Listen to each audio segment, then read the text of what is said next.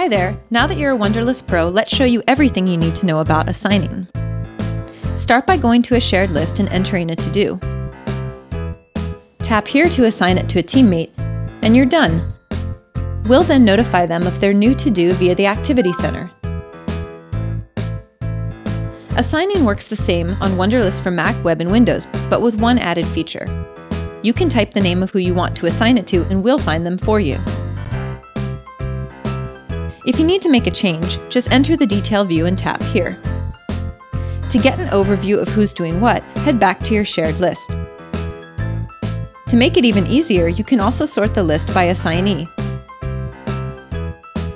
If you're a member of multiple shared lists and need to see only what you need to do, head back to the sidebar and open the Assign to Me Smart List. And that's assigning in Wunderlist Pro.